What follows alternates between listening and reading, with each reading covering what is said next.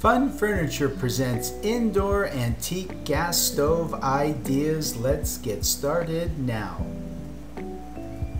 Nothing adds warmth to your home like an antique wood stove. Identification of these functional heating appliances is important if you want to know more about their history and value. From patent numbers to styles, there are several clues that help you identify your antique wood stove. Retro kitchen design with modern vintage stove is as popular and stylish as ever before. Retro style clothes, hairstyles, and interior design, including vintage kitchen decorating ideas, are modern trends that feel novel and interesting, familiar and comfortable. Rich kitchen colors of modern kitchen appliances and cabinets, burgundy red, emerald green, antique white, graphic gray, and midnight blue combined with golden or silver handles and lighting fixtures make kitchen decorating ideas look colorful and expensive with a welcoming and elegant look.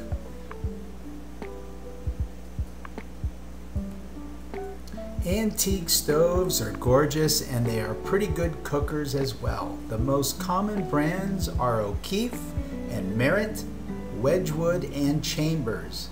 Other than the cool retro look, these stoves are good because of the materials used.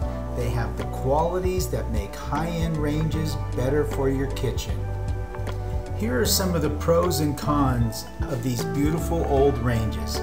The pros, they're good bakers, solid cast iron burners, fairly simply functional parts, heavy porcelain and chrome finishes, and an awesome retro look. The cons, always on pilots for the top burners and for the oven and broiler. These use gases unlike modern ranges that use electronic ignition. It will also add significant heat to the kitchen in both the winter, good, and the summer, not so good.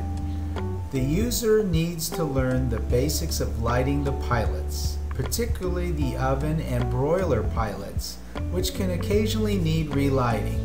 Although these stoves have oven lights and clocks, they are rarely safely usable without having the old wiring replaced with new and the clocks rebuilt. There are no functional cooking aspects that require electricity.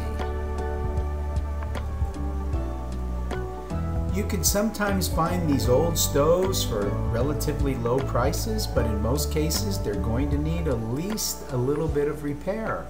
If the physical parts of the stove are intact, you can expect to spend between 150 and up to perhaps 700 to get the burners, oven, and broiler in good working order.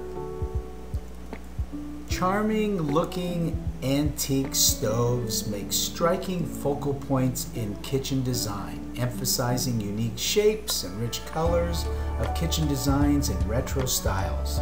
Vintage stoves and furniture feel personal and inviting adding sentimental flavor and unique character to the kitchen decorating ideas that you may have. So we hope you're enjoying the photos. I hope they give you some inspiration to a new design that you're looking for your kitchen. We'd like to thank you for taking time to view our video today and give us a thumbs up if you like our video and please subscribe to our channel for all future videos that we will be making on a daily basis. So thank you for taking the time to stop by Fun Furniture. Have a great day. Thank you.